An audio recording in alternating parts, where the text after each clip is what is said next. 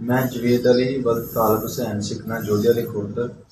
मैं अपने पूरे हौसवास में ये बयान रिकॉर्ड करा रहा हूँ कि मैं तीन माह से उस्मान डार साहब का पीए था डेवलपमेंट के कामों का, जो डिस्ट्रिक्ट काउंसिल में यूनियन काउंसिल आती है एन इन यूनियन काउंसिलों में से दालतगढ़ा हरड़ काउंसिल और थी। इनके मैं सारे डेवलपमेंट के काम मैं देखता था और ठेकेदारों से मेरा पूरा रबता था। और मेरा ये काम देखकर और मुझे उस्मान डार के बड़े भाई अहमद डार ने कहा कि आप हमारे लिए इतना काम करते हैं तो मैं आपको कोई सरकारी नौकरी दिलाता हूँ। उन्होंने कहा, अपने को डॉक्यूमेंट बनाओ और उधर एजुकेशन डिपार्टमेंट में जमा कराओ। मैंने उधर से, मैं थोड़ा कम पढ़ा लिखा हूँ। मैंने उधर से इंडिया पब्लिक स्कूल से एक फेक सर्टिफिकेट बनवाया और डोमिसल बनवाया और वो मैंने अपने डॉक्यूमेंट एजुकेशन डिपार्टमेंट में जमा करवा दिए और उससे मुझे हमारे डार साहब ने मेरे आर्डर करवाए।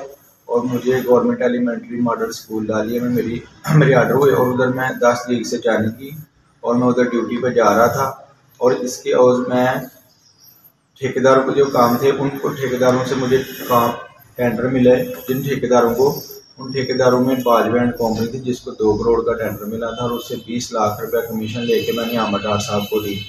और दूसरा जो ठेकेदार था, जैन बाजवा उसके पास भी पचास लाख का टेंडर था और उस, उससे भी मैंने पाँच लाख रुपए कमीशन लेके दिया अमरदार साहब और तीसरा जो ठेकेदार था खिजर कंस्ट्रक्शन उसके पास एक करोड़ का टेंडर था।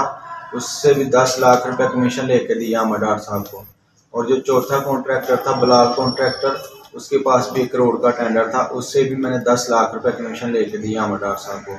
और जो पंजवा कॉन्ट्रैक्टर था अल बिल्डर उसके पास पचास लाख का टेंडर था और उससे भी पाँच लाख रुपये कमीशन लेकर दी मैंने अमरदार साहब को। ये टोटल जो चार यूनियन काउंसिलों की कमीशन थी, ये पचास लाख रुपया थी जो मैंने लेके दी अमरदार साहब को। और ये एन एस आर की जो टोटल अठाईस यूनियन काउंसिलें हैं, उन अठाई यूनियन काउंसिलों में चार यूनियन काउंसिलों पर मैं काम करता था और जो चौबीस यूनियन काउंसिलें जो एम सी में आती हैं, उसके यहाँ ख्वाजा इमरान लड़का जो मेरे से काफ़ी देर पहला काम करता था, वो देखता था। वो पता नहीं दस परसेंट या पंद्रह परसेंट या बीस परसेंट कमीशन लेकर देता मुझे इसका कोई इलम नहीं।